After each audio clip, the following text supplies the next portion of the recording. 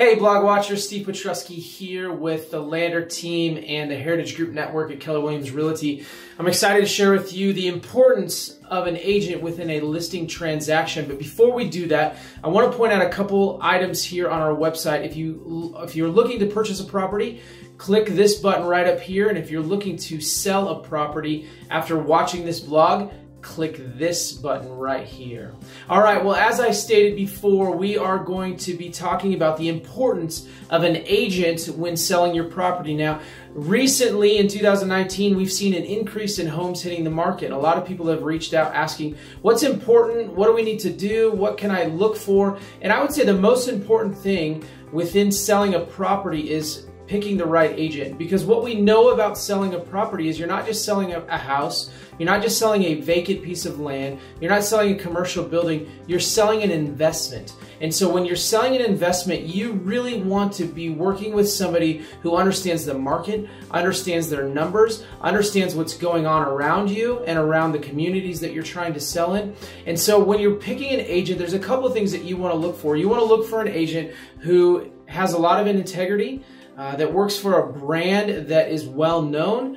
And more importantly, you want to work with an agent who shows up to meet with you with some items in hand. And what I mean by that is there's a lot of agents who are new to the business, who have been around a while, that maybe show up thinking they're just automatically going to get the listing. And what we know is that's not true because if you're selling your investment property, you want to make sure that you're working with an agent that is professional and shows up with some items. And some of the items that we show up with that I think are important to a transaction and possibly listing and helping you sell your property are simply this. Uh, if you're working with an agent that doesn't show up to you uh, to meet with you with a net sheet, uh, you need to ask questions because a net sheet is going to calculate if we sell your property for a specific price all of the deductions and transaction fees that go along with selling a property, what is the amount of money that you're going to walk away with? Because that's really what you're trying to accomplish, right? Is walking away with a certain amount of money. And so you want to make sure they show up with a net sheet.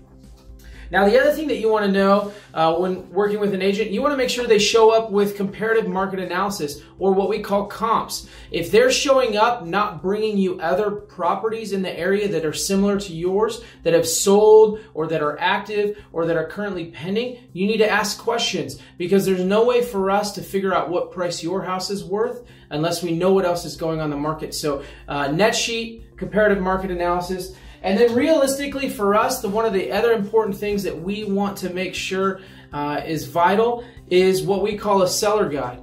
Uh, there's a lot of things that happen within a transaction, whether you're selling a commercial property or residential home or even vacant land. And we want to make sure that you're given all the tools and resources that will help you when showing your home, when cleaning it up, all of those things. So we want to make sure that we bring this. And so if your agent doesn't bring you information on how to make sure they can help you sell your property, maybe their marketing scheme, how they're going to get your property out into the into the market so other people see it, you want to begin to ask questions. And so if you want to know what's inside our seller guide, give us a call. The number's below, the email's below. If you're thinking about selling your investment property, not just your house, your investment property, reach out to us. We'd love to connect. We'd love to share how we do things. We'd love to bring that net sheet along. We'd love to bring those comps along, and we'd love to you here in 2019. And so, thanks again for watching. If you have any questions, email us, and uh, we'll reach out to you and uh, try to connect.